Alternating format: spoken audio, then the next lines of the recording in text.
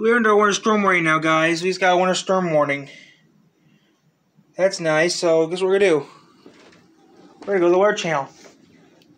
45. They issued a winter storm warning for our county. You see the ticker's on? Nope, no ticker. But yeah, we're under a winter storm warning now, guys. They issued a winter storm warning for our county, which is. Oh, it's that time of year again. Okay, see. So they issued the, our county, which is down here, a winter storm warning.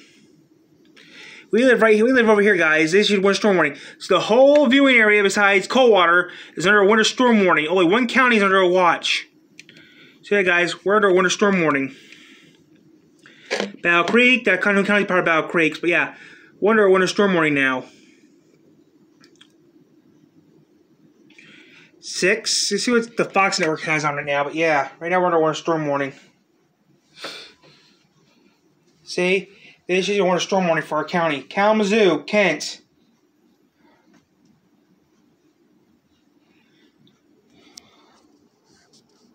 Yep, that's our county. St. Joseph and Van Buren. Winter storm warning. So yeah, I gotta keep an eye on this, guys. Now I'm gonna put this back onto uh, the NBC affiliate because which our local uh, show's gonna be on soon. One ten one six. I'm gonna see if our see Notre Dame uh, the football's gonna be starting soon. I'm just gonna see here.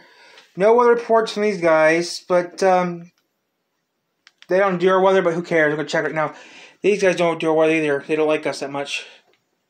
So I'm no better doing weather right now, but yeah, we're under a warning right now, so we're gonna keep an eye on this.